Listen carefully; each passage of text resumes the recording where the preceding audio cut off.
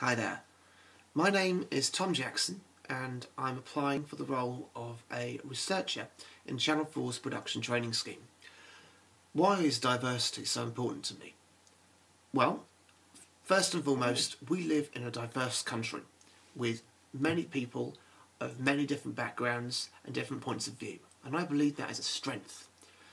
And I believe that they need to be represented in all parts of the industry and that includes on both sides of the camera.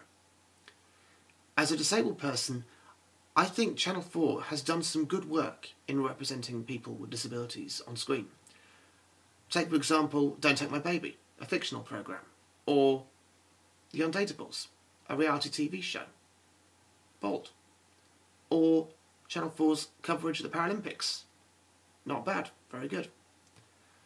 So yeah, I feel there's a lot of work that's being done but there's also improvement. And the best way to improve on this is to have disabled people involved at every stage of the production and research process, not just as a box ticking exercise. It's something that's embedded into the core of what Channel 4 can do.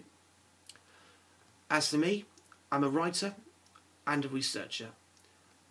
I've written a short film about my own experiences with ME, CFS, which is called The Black Box.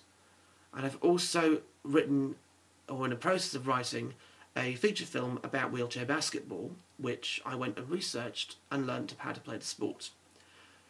This is the sort of level of detail that I take to each of my projects and what I could bring to the table if I was a researcher for Channel 4.